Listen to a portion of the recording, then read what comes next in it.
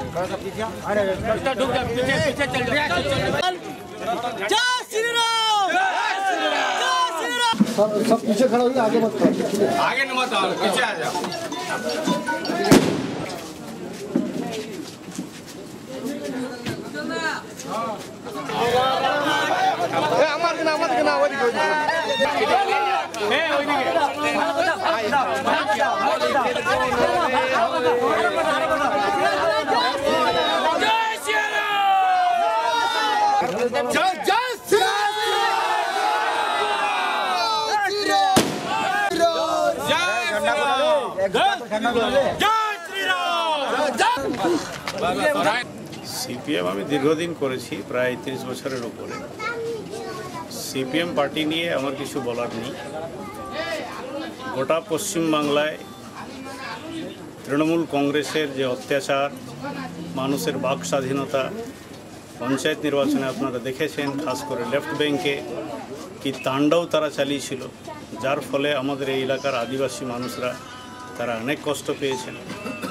Left ব্যাংকের অনেক মানুষ আছেন যারা কলে কারখানায় কাজ করেন, এই এলাকা মানুষ যারা কাজ করেন, তাদেরকে ধমকি, তাদেরকে চমকি কাজ থেকে বসিয়ে দেওয়ার, এই ধরনের সিদ্ধান্তগুলো নেওয়ার ফলে অসংখ্য বেকার ছেলেরা কাজ হারিয়েছেন।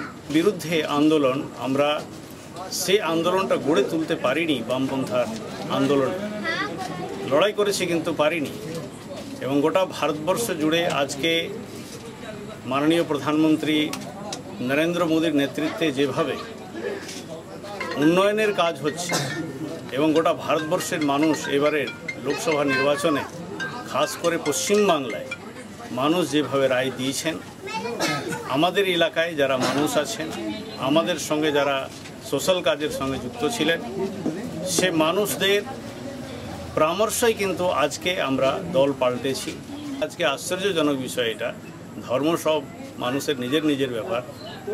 কিন্তু জয় শ্রীরাম বলাটা আজকে পশ্চিমবাংলায় কারফিউ লাগু করা হচ্ছে। এটা তো ঠিক নয়। বলাটা আজকে পশ্চিমবাংলায় কারফিউ লাগু করা হচ্ছে। এটা তো ঠিক নয়।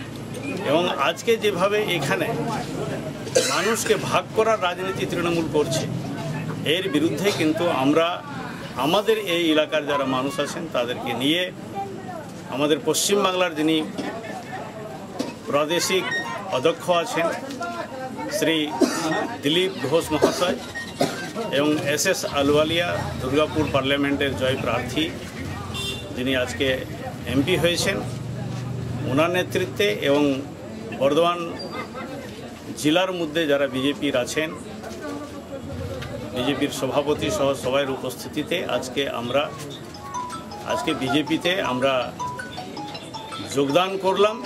এখান থেকে জয়েন করেছি প্রায় একশো ষাট জন। মানে সেখানে কি তৃণমূলেরও কিছু ছিল? হ্যাঁ তৃণমূলের অনেকে আছেন কংগ্রেসের একজন আছেন এবং সিপিআইএমের পক্ষ থেকে অনেকজন আছেন।